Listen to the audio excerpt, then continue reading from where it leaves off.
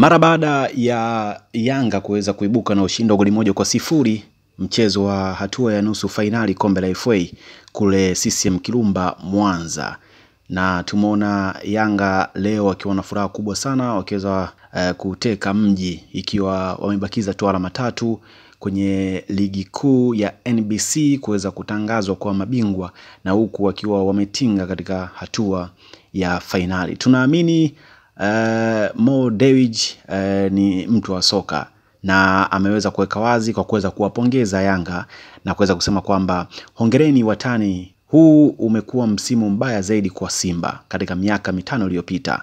Bodi inahitaji kufanya maamuzi magumu juu ya njia ya kusonga mbele. Tunahitaji kurekebisha timu na mkakati wetu na kurudi kwenye bodi. Tulikosa ari na njaa ya kushinda vikombe mwaka huu. Kwa hiyo ameweza kuwapongeza uh, Young Africans na akisema kwamba uh, msimu huu umekuwa mbaya zaidi uh, Simba katika miaka mitano iliyopita tofauti na ile nne E, miaka minne ambayo walibeba ubingwa miaka minne mfululizo na kuweza e, kuchukua pia FA ndani yake. Na mstari ambao uh, uh, unafikirisha na ni mgumu sana. Amesema kwamba tunahitaji kurekebisha timu na mkakati wetu kwa kurudi kwenye bodi ya ligi, na ameweza kusema e, bodi inahitaji kufanya maamuzi magumu juu ya njia ya kusonga mbele. Kwa hiyo hatujui nini kitatokea.